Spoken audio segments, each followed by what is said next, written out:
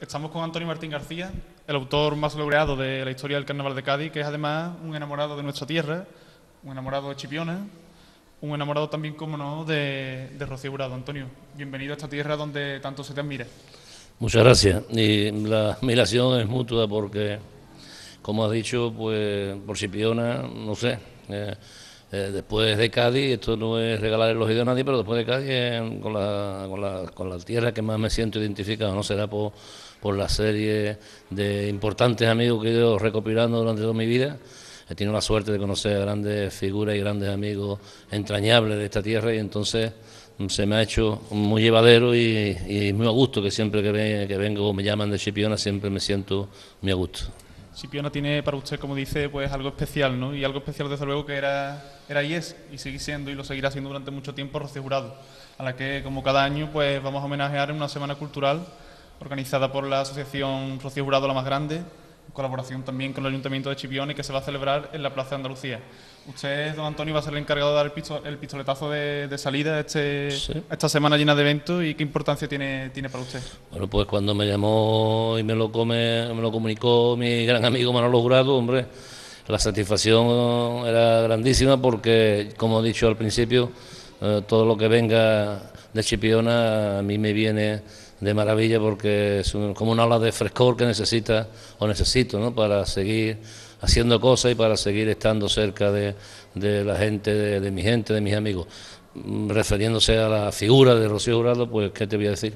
Entonces, mmm, llueve sobre mojado, es decir, miel sobre hojuelas, el, el, placer es, es, se agranda porque es que hablar de Rocío Jurado eh, se me llena el alma de recuerdo y eh, intentaré hacer la mejor historia de, de, de, ellos, de estos recuerdos, de muchas anécdotas que, que solo tengo el honor de decirlo, que la, la, hasta ahora nada más que la conocía ella, se llevó los recuerdos y yo me he quedado con esos recuerdos y haré un poco así de, de reflexión en voz alta de lo que significó en el caso de mi persona la, la figura de, de, Rocío Jurado. ¿Cómo era don Antonio la, Rocío que usted conocía? ¿Qué le contaba ella de, Chipiona? Eh, Rocío es Rocío, cuando murió Rocío se murió algo de Chipiona importante, se murió parte de Chipiona, ¿no? Había, había gente importante como mi gran amigo también Juan Ignacio de Sardi, que vamos a hablar de entonces, pero bueno, yo, yo digo como siempre que la, los que son grandes como ellos, como Rocío, nunca mueren, ¿no? Siempre están, están en los sitios, están aquí en este castillo, están en el santuario, están donde los vas viendo y los vas escuchando, creo yo, por donde quiera, donde quiera que vaya nos queda su legado y nos quedará también pues su obra desde luego y podríamos decir don Antonio que usted ha conocido prácticamente Chipiona a través de, la voz de Rocío Jurado y de las imágenes de, de, Juan Ignacio ¿no? la verdad es que de la mano de ellos yo conocí a Chipiona porque como cualquier gaditano ¿no? que cuando niños nuestros padres nos traían aquí a la playa y esos autobuses de comi, esas historias, pero eso no es conocer Chipiona. Chipiona la conozco yo, pues cuando tengo la suerte de conocer a Juan Ignacio Sardi, y cuando tengo la, la, la, doble suerte de, acercarme y de, que Rocío me ofreciera uh, y de qué manera su amistad, ¿no? porque a Rocío todo el mundo la conoce de fuera como artista, pero conocerla como persona, eh, eso ya es lo más, porque nadie puede imaginarse, nada más que los que tuvieron la suerte de conocerla, qué tipo de, de ser humano era a Rocío con sus amigos, con su gente, con todos los que llegaba.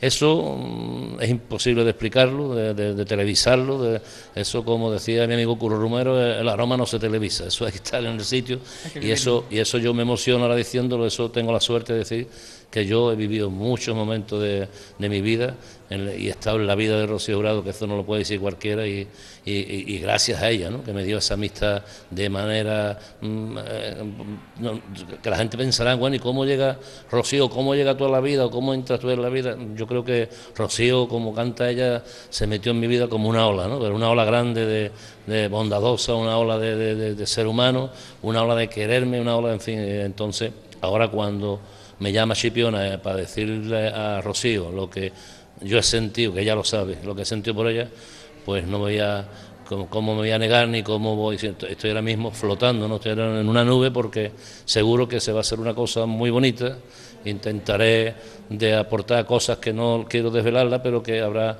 en cariño a Chipiona y a Rocío habrá cosas que ella también amaba, porque Rocío cuando iba a Cádiz de lo que menos hablábamos era de Rocío, Rocío quería hablar de carnaval, es que quería cantar entre las flores y me cantaba coplas de Paco Alba, Rocío, porque además me hablaba de su padre, que su padre fue un buen burguista de Chipiona y le cantaba las coplas ya antiguas, entonces había una conexión. Rocío me llega a mí a decir una cosa increíble, ¿no? Me dice, me dice niño, yo, yo te conocí a ti antes que tú a mí. eso es imposible. Yo, Rocío, tú eres artista. Dice, no, no, yo te he seguido y empezó a cantarme coplas y entonces se me hizo, el alma se me hizo una babasa, se me, por poco me, muero de alegría. Bueno, Rocío, desde luego que las historias que, que cuenta Antonio ponen ahora mismo los vellos de punta para todo aquel que, que ame el carnaval y que ame Rocío Jurado, que se sienta chipionero o gaditano, seguro que estas historias emocionan porque desde luego que no son para menos. Y una Rocío también a la que en muchas ocasiones has mencionado, has mencionado en tus coplas, ¿no? Sí, naturalmente. Eh, más y media cuando tomamos, nos veíamos y bueno, es que, estaba ya presente. en el año que yo, en la comparsa nuestra no Farfalla, no concursamos, fue la primera copla que le canté públicamente, que fue ella eh, fue a, la presentación de esta comparsa allí al Palacio de Congreso de, Cádiz, dejó, me conta que dejó de compromiso, entre otros grandes, la propia alcaldesa de Cádiz la había invitado al mismo tiempo que, estuviera, a que se quedase en Madrid para presentar Carnaval de Cádiz en Madrid. Y, ella le respondió, dice, no, no, yo me voy a Cádiz porque está representando allí mi compadre y se vino hasta Cádiz. Allí le sorprendimos, le cantamos la primera copla eh, que ella, ella la, remató la faena, se subió al escenario y como en la copla esta al final le decíamos viva la madre que te parió, pues evocó la copla ella de Algo se me fue contigo madre, fue un momento emocionantísimo para todo el mundo. Eh, en fin, Rocío a mí nunca, nunca, nunca me, me, falló, nunca me falló cada vez sin yo aclamárselo ni pedírselo de rodillas, sino más que le tiene que decir, Rocío, necesito ya. O sea que ahora, Rocío, ya está Antonio Martín aquí para hablar de, ti con todo el cariño del mundo. Para devolverle lo que, lo que buenamente y humildemente desde luego se pueda, ¿no? Eso fue la historia que contaba era de, del año de los contrabandistas, ¿no? Efectivamente. Y luego ha habido también otras coplas muy emotivas como la que, por ejemplo, se hizo el año de los hijos de la libertad, que fue que mencionaba mucho a Chipiona también, que, que recordaba este rincón mucho. Y le cantamos cuando con el revuelo, cuando, cuando al año del revuelo le cantamos una copla que ya la pobre mía estaba un poquito estaba ya para su silla y le cantamos una copla que eh, conectaron en directo con televisión, la sorprendieron a ella en Madrid, allí en su casa, y las imágenes en vivo le cantamos la copla y vimos a una Rocío muy emocionada y muy y nosotros porque sabíamos que lo que estaba pasando y sin embargo eh, eh, se mostró siempre con esa entereza que hacía que nos consoláramos los, que no los que, los que estábamos al lado de ella, en vez de tener que consolarla a ella, ¿no? Muy grande. ¿Usted ha llegado también a componer canciones para, para Jurado? Yo todos los años últimamente, cuando iba por Cádiz, a mí nos reuníamos en el Hotel Atlántico, no este que han restaurado, el que estuvo, y allí hacía que le, escribiese fandangos de última hora dedicados al camarón porque había muerto, dedicaba el fandango célebre que me pidió camino de, Málaga en el coche íbamos y, y, quería cantar esa noche en el Tívoli un fandango a su hija, a Rocío, que eh, mm, tan vituperada estaba haciendo en las televisiones, le estaban atacando tanto, en fin, ya conocemos esa historia que no merece especial mención. ¿no? Y, entonces me pidió un fandango, eh, se lo escribí en el, en el coche, llegamos al hotel, se lo ensayó con el niño Merchopo y cuando llegó al tíbulo y lo cantó, yo fue lo que más corazón le puso de, aquella noche. Puso el tíbulo y yo vi el tíbulo y boca abajo. Cuando esa mujer lanzó el fandango con el arma que lo lanzó, y digo, que esto va a reventar. Eh, y cosas así, mm, últimamente hubo un proyecto muy bonito que ahí se quedó, ya nos sorprendió con lo que pasó. Hubo un proyecto y hay ahí como 10 o 12 temas musicados por mi parte, son poemas de Rafael Alberti, lo estaba lo iba a patrocinar la Diputación de Cádiz, pero pasó lo que pasó y se quedó eh, ahí está. Eh, era mm, Rocío cantando a Rafael Alberti y ya yo la, bueno, se había musicado, ya ya tenía temas y otro y otro tema también que, que se quedó con las ganas de grabar que dedicado a su hija Rocío también, y a la, se llamaba Las Tres Rocío, creo que era. Y ella estaba loca por, por grabarlo, pero no lo hacía en sitio de, eh, donde cuando iba a la casa discográfica no lo hacía en sitio, tenía otros autores y tal, y, y no, no, lloró, no lloró pocas veces porque no lo dejaron grabar el tema ese, Rocío.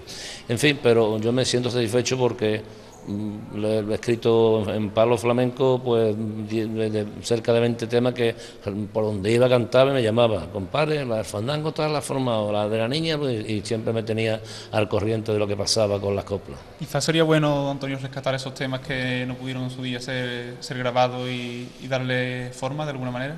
Y que, estaba pensado para Rocío. Eso es el problema, ¿no? Estaba pensado para Rocío. A mí ya vinieron otros artistas mm, por medio de diputación en el intento de querer coger los temas, pero yo... Sería prostituirlo casi, ¿no? Hombre, yo, ya ves tú, yo como autor sería, pero mm, es que yo siempre tengo la misma respuesta. Están hechos, estaban hechos para Rocío Dorado, eso no lo puede cantar nadie. Y bueno, eso como usted, Antonio, también es inevitable hablar de, de la materia carnavalesca, ¿no?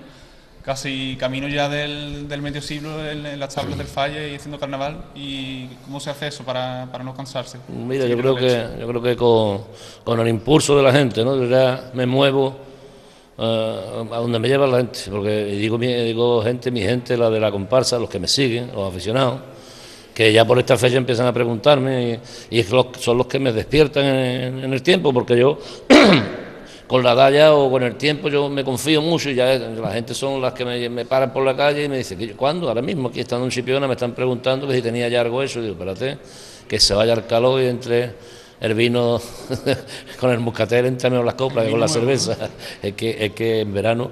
Eh, pero bueno, yo siempre digo lo mismo, estoy agradecido a la afición, a los 15 chavales que cantan mis coplas, porque son los que me empujan, ¿no? Sí, este año también con la aportación de Ángel Zubirano, cómo se trabaja con él, que me creo que, por ejemplo, ha podido Bien, servir no, para ese eh, premio logrado este año. Es un, es un chaval, un hombre muy inquieto, un director muy inquieto, siempre está moviendo, no, no, no se para para nada, entonces hace que se mueva todo el mundo, ¿no? es como contagia con sus ganas a los demás y por ser el primer año que hemos estado intentando conjuntando, no creo que, ha sido buena la, el resultado ha sido bueno. Y, entonces este año, el segundo, ya cuando nos miremos e intentemos nada más que iniciar una conversación, nos iremos entendiendo. El, primer, el primer año, bueno, pues ha habido eh, cosas que queríamos entender de uno y del otro y yo creo que se ha, se ha logrado. ¿Y a usted en el concurso qué le da más fuerza? ¿Un primer premio o una aguantada sin mano? Bueno, a veces mm, los fracasos, los desengaños más que fracasos, ¿no? y las ingratitudes de, que te puedas sentir, que te hagan por una cosa u otra, que eso a veces te, es necesario y te enseña a lo mejor mucho, muchas más cosas que un triunfo. Ganar sabe cualquiera, perder no, perder no lo sabe todo el mundo. Y luego don Antonio se ha dicho muchas veces que las comparsas son moda, pero hay algo que debe estar siempre por encima de, las modas. ¿Cree usted que el carnaval está perdiendo en cierto modo su esencia? Yo intento que, en mi caso no sea así, ¿no? Mm, por, hacerlo así de esta manera muchas veces me han mirado como bichos raros, ¿no? Pero yo creo que los bichos raros son los otros. Eh, se puede hacer la revolución de, de, las coplas del carnaval, se puede hacer, se intenta hacer cada año, pero no hay que pisotear las raíces, porque esto es como el flamenco. Camarón, o a Camarón intentaron sacarlo del flamenco con muchos pitos y chirimías y al final la gente quiere escucharlo cantando por la calle Real con la guitarra de Paco de Lucía o Bertomatito.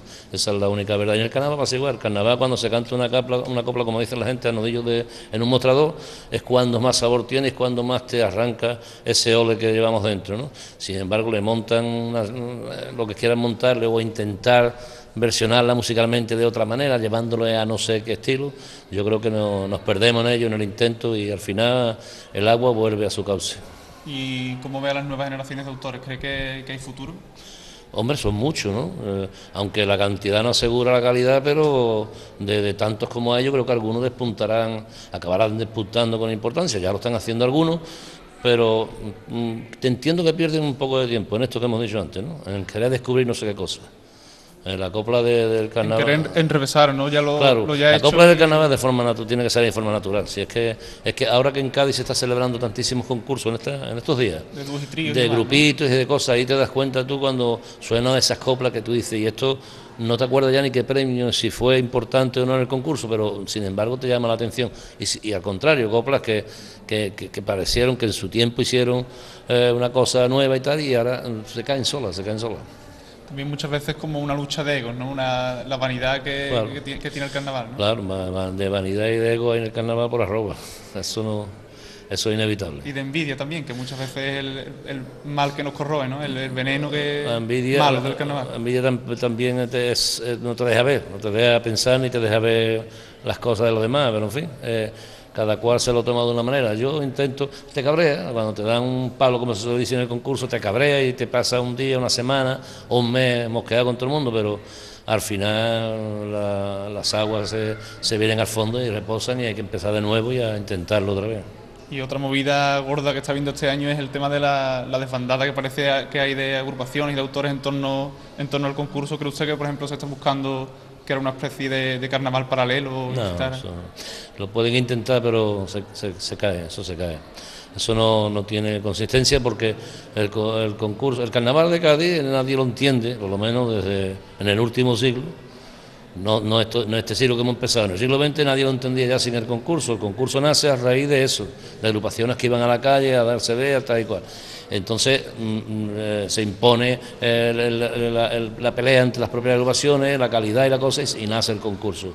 Y el concurso de Cádiz, o sea, el carnaval de Cádiz, bien es verdad que en la calle es un carnaval grandioso y todo el mundo disfruta, pero en el mundo entero se conoce por las coplas que se cantan en el concurso. Las agrupaciones que no van al concurso eh, llevan eh, empiezan la carrera con, con desventaja porque no, no llega no están en el escaparate no, están en el escaparate el concurso es un escaparate. Además se canta se intenta cantar con esa, eh, esos nervios que te hacen para no fallar y es otra historia. El concurso el concurso de falla quien, quien, intenta hacerlo o otro paralelo como se ha hablado de que si en Sevilla que si en Granada que si tal pueden hacerlo pero eh, como el ave fénix, el, carnaval de Cádiz resurgiría otra vez, saldrían otras nuevas agrupaciones, saldría nueva gente, porque al fin y al cabo, como en Sevilla es la feria y como cada cual tiene sus tradiciones, el carnaval que conocemos de Copla nace en Cádiz y y, ahí se tiene que morir, si es que, tiene, si es que muere.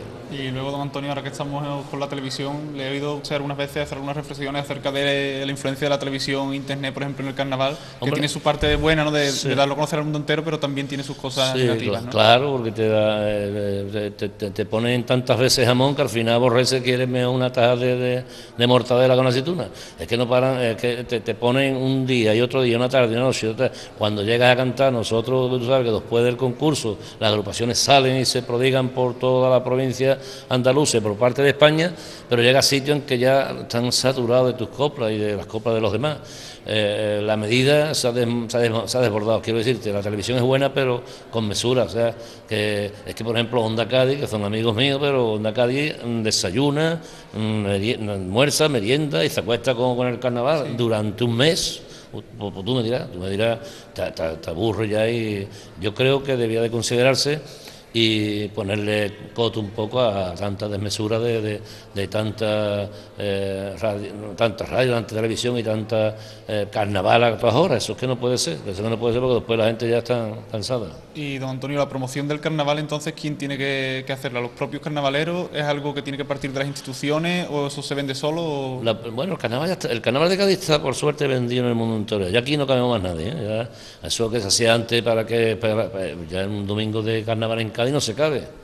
Entonces, eh, la promoción está hecha ya de por sí. Eh, no, es necesario cada año embarcarse y irse a Madrid a decir que además está muy bien, está muy bien, porque la gente les gusta de, que Cádiz vaya a Madrid o que se vaya a otro sitio. Ponerse las medallas también, eh, También, pero que, que, el carnaval de Cádiz yo no temo, yo quizás, no sé, yo, yo no, por los años ya tengo que hablar de otra manera, pero vamos, yo, yo, no temo que el carnaval de Cádiz se, le vaya a olvidar a la gente en medio siglo o en un siglo más, este, que, esto, va a perdurar ya como yo lo paro siempre mucho al flamenco, el flamenco se propaga por sí solo, al flamenco no hace falta, ahora le quieren dar reconocimiento de, del patrimonio inmaterial.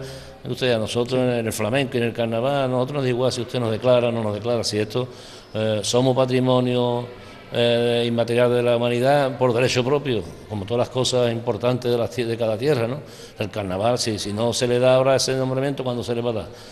Pues eh, eh, así así va la cosa. No, no es necesario, no es necesario que, que, nos hagan tanta promoción, porque además sí nos puede dar miedo eso de que se el concurso cada, cada, año está está más, eh, más imposible de, de, no, de, organizarlo. Es que te vienen, con todo mi respeto, vienen agrupaciones de Santander, vienen de La Coruña ya, viene, va a haber un año en que lo vamos a tener que hacer en esta plaza donde se va a dar lo de Rocío, sea, un sitio espacio a que todo el mundo eh, entre a escuchar y vea, porque y perdería entonces el encanto del falla, pero que, ya te digo, eh, al carnaval dejarlo que anda solo, como el flamenco, que sigue andando solo y sus méritos no se lo va a quitar nadie.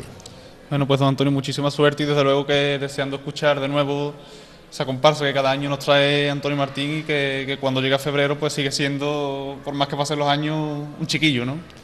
Eso quisiera uno. Eh, y para cerrar, bueno, la idea desde luego no está claro todavía, pero mantener el mismo grupo sí que creo, ¿no? Que... Sí, salvo que sesiones de última hora por trabajo o compromisos familiares y cosas que siempre lo mejor, pero vamos, el grupo es el núcleo es el mismo, el embrión de la comparsa es el que hemos conocido este año y en ello vamos, vamos a seguir trabajando. Bien, pues muchas gracias, don Antonio, por haber venido aquí a compartir este rato con nosotros, con los chipioneros y por llevar siempre nuestro nombre y el de Rocío por bandera. Gracias, gracias a ustedes y eh, que quedamos emplazados, ¿no? A la, el orgullo y el honor es para mí, o sea, estar hoy aquí para mí es un regalo. Yo cada vez que estoy en casa digo, ahora me llamarán de chipiona porque me aburro y entonces aquí eh, encuentro la gloria, encuentro a mis amigos y, y eso nos, nos emplazamos para el día 26, ¿no? Venga, pues a ver si va mucha gente muchos amigos y que lo pasemos bien. Muchas gracias.